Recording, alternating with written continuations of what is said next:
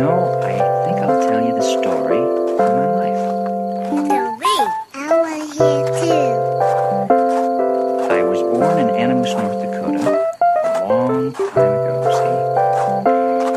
And now I'm lucky enough to be here with you. Yeah, but what happened in between? Yeah, what else happened? Well, it uh, went pretty much like this. If you were the Christmas day cause